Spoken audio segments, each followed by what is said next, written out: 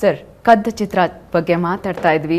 ಟೈಟಲ್ಲೇ ನಮಗೆ ಒಂಥರ ಗಾಂಧಿನಗರಕ್ಕೆ ಬಹಳ ಹತ್ರ ಅಂತ ಅನ್ಸುತ್ತೆ. ಕದ್ದ ಚಿತ್ರ ಅಂತ. ಯಾಕಂದ್ರೆ ಎಷ್ಟೋ ಸಿನಿಮಾಗಳನ್ನ ನೀವು ಅವಾಗಲೇ ಹೇಳ್ದಾಗೆ ಕೃತಿ ಚೌರ್ಯ ಅಂತ ಹೇಳ್ದ ಹಾಗೆ ಯಾರಿಂದನೋ ಒಂದು ನಾಲ್ಕೈದು ಸಿನಿಮಾ ಕದ್ದು ಸಿನಿಮಾ ಮಾಡಿದಂಥದ್ದು ಗಾಂಧಿನಗರದಲ್ಲಿ. ಈ ಥರದ್ದೆಲ್ಲ ಬಹಳ ಆಗ್ತಾನೇ ಇರುತ್ತೆ ಅಂತ ಹೇಳ್ಬಿಟ್ಟು. ನಿಮ್ಮ ಹತ್ರ ಆ ಥರ ಕದ್ದು ಚಿತ್ರಗಳು ಬಂದಿದೆಯಾ ಯಾವಾಗಾದ್ರೂ? ಬಂದಿರ್ಬೋದು ನನಗೆ ಗೊತ್ತಿಲ್ಲ. ಯಾಕಂದ್ರೆ ನಾನು ಹೆಚ್ಚು ನಿಮ್ಗೆ ಅನ್ಸಿದ್ಯಾ. ಯಾವ್ದಾದ್ರು? ಇದು ಯಾವುದೋ ಕಾಪಿ ಅಲ್ವಾ ಈ ಸಿನಿಮಾ ಅಂತ? ಆದರೆ ಇನಿಷಿಯಲಿ ಒಂದು ನನ್ನ ಕರಿಯರ್ ಸ್ಟಾರ್ಟ್ ಆದಾಗ ಇನಿಷಿಯಲಿ ನನಗೆ ಆ ಥರ ಅನ್ನಿಸ್ತಾ ಇತ್ತು. ಆಮೇಲೆ ಬಹುಶಃ ಮೋಸ್ಟ್ಲಿ ಇದು ನಡೆಯೋದೇ ಹೀಗೇನೋ.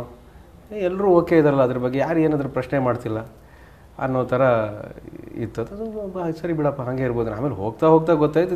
ಇಟ್ಸ್ ಆ್ಯಕ್ಚುಲಿ ಬಹಳ ಇದು ಬಹಳ ಸೀರಿಯಸ್ ವಿಷಯ ವಿಷಯ ಇದು ಅಂತ. ಹೋಗ್ತಾ ಹೋಗ್ತಾ ಗೊತ್ತಾಯ್ತು. ಆವಾಗ ಇಲ್ಲ ನಾನು ಒಳ್ಳೆ ಕಥೆ ಮಾಡಬೇಕು ಒಳ್ಳೆ ಕಥೆ ವಸ್ತು ಇರಬೇಕು.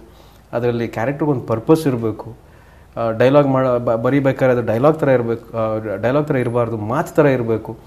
ಅದಕ್ಕೆ ಈ ಥರ ಸಿನಿಮಾಗಳು ಮಾಡಬೇಕು ಅಂತ ನಾನು ಕಾನ್ಷಿಯಸ್ ಆಗಿ ಡಿಸೈಡ್ ಮಾಡಿದೆ ಆ ಕಾರಣಕ್ಕೆ. ಈ ಥರ ಸಿನಿಮಾಗಳು ಮಾಡಿದಾಗ ನಮಗೆ ಕದ್ದು ಮಾಡುವಂಥ ಅವಕಾಶ ಸಿಗೋದಿಲ್ಲ.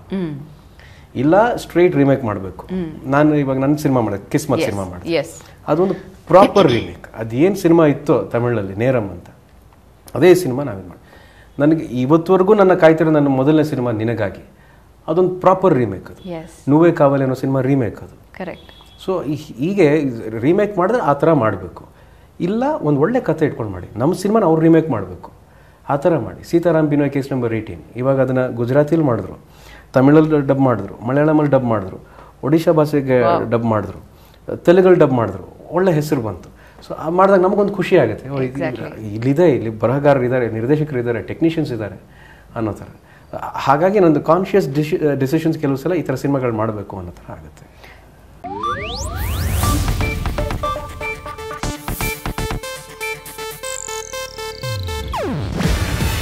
ಇದು ಏಷ್ಯಾನೆಟ್ ನ್ಯೂಸ್ ನೆಟ್ವರ್ಕ್ ಪ್ರಸ್ತುತಿ.